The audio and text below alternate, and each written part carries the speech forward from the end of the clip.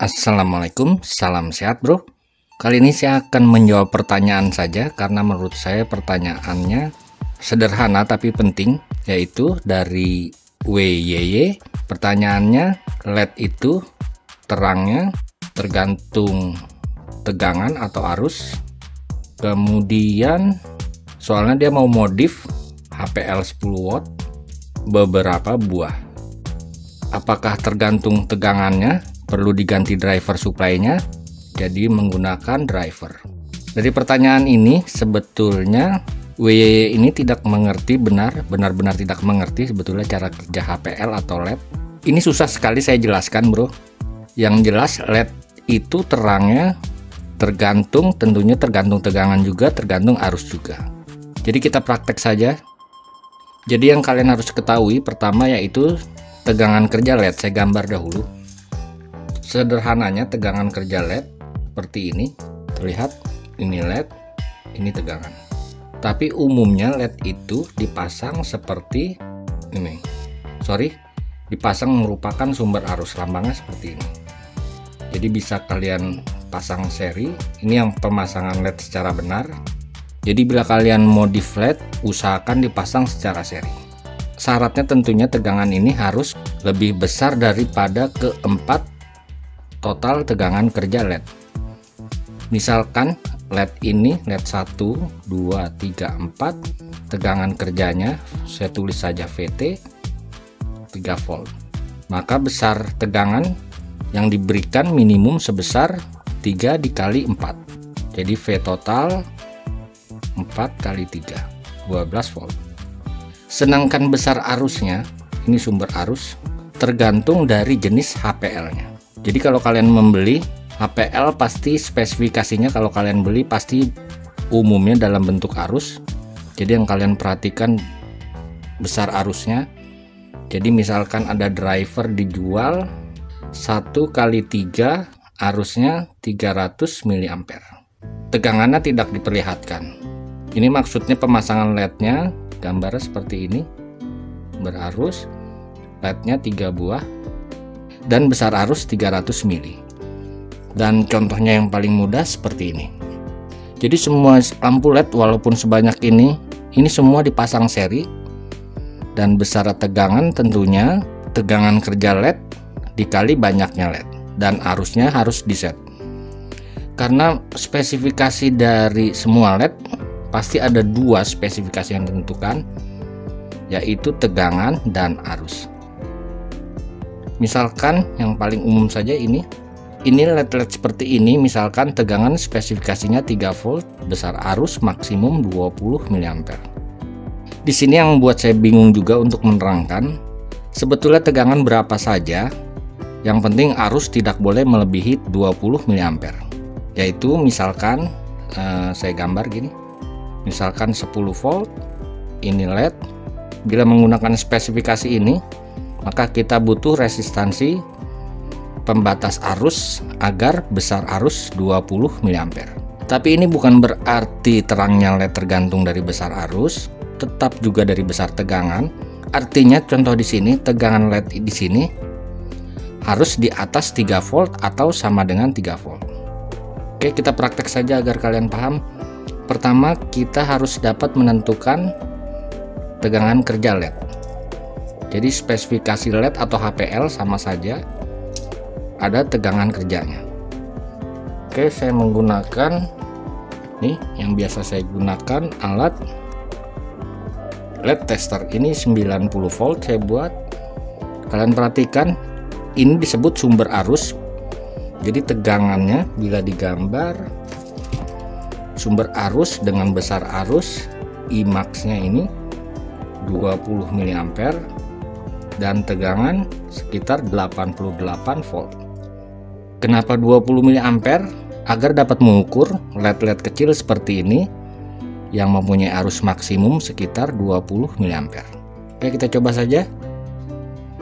Perhatikan besar tegangannya terbaca 3 volt. Karena itu ini disebut dengan LED 3 volt. Tapi jangan salah bro, ini hanya perkiraan saja misalkan tegangan ini ini kalau tidak salah 3 volt juga. Kita ukur saja. Benar sekitar 2,6 artinya mendekati saja kira-kira. Jadi LED itu tegangan kerjanya. Bisa 3 bisa 10 bisa 9 tergantung. Ini mulai dari kira-kira 6 volt sudah menyala. Nanti kita coba. Dan yang ini mulai menyala tegangan 7,9 yang kalian harus perhatikan untuk mengecek ini panas yang terjadi. Karena hampir semua jenis LED atau HPL yang penting panasnya seperti lampu ini. Ini yang penting heatsinknya nanti kita coba. Mudah-mudahan kalian paham bro ya bahwa LED itu terangnya tentunya tergantung tegangannya minimum kemudian besar arusnya.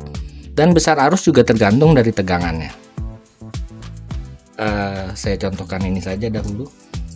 Jadi yang paling penting dalam menentukan LED yaitu panasnya karena itu heatsink dibutuhkan seperti lampu-lampu HPL atau LED pada umumnya. Untuk mengetahui dayanya tanpa heatsink tentunya saya ukur dahulu.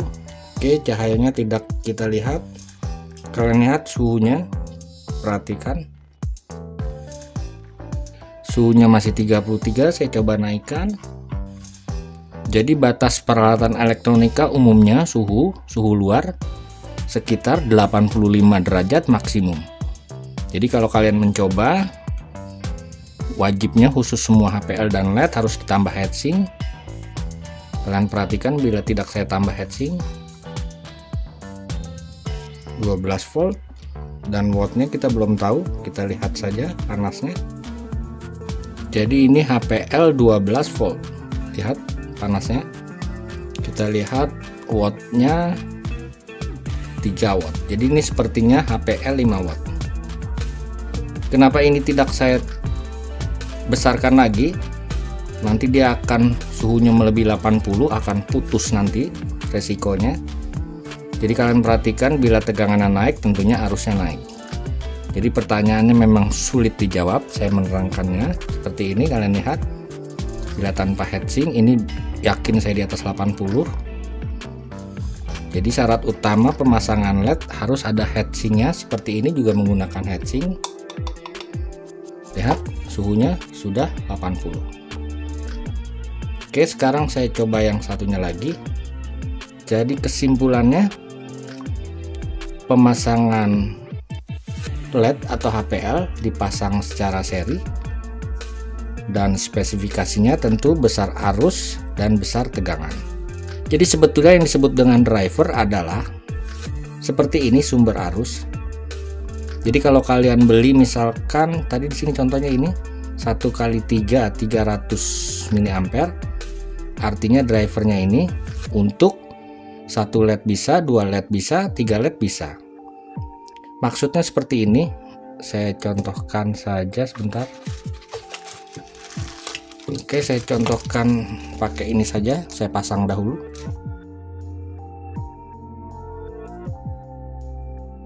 Oke, ini saya pasang secara seri seperti ini. Kemudian saya cek menggunakan ini, kalian perhatikan. Jadi tegangannya ini 80. Jadi bila kalian punya tegangan lebih besar daripada tegangan kerja tentunya LED akan menyala. Yang penting besar arusnya. Kalian perhatikan ini anoda katoda semua. Saya coba dahulu. Perhatikan satu tegangannya tiga. Dua kemudian tiga empat dan lima. Paham ya bro? Jadi maksudnya bila satu misalkan ini tadi tiga. Jadi dengan tegangan 88 volt dengan cara ini kita bisa masang LED secara seri. Banyaknya itu sebanyak 87 dibagi 3 sekitar 29 LED bisa menyala seperti ini. Jadi kalau kita pasang 29 LED ini nyalanya sama karena besar arusnya sama 20 mA. Oke, mudah-mudahan dengan praktek sederhana ini kalian mengerti cara kerja HPL atau LED Terima kasih telah berkunjung. Salam sehat. Wassalamualaikum warahmatullahi wabarakatuh.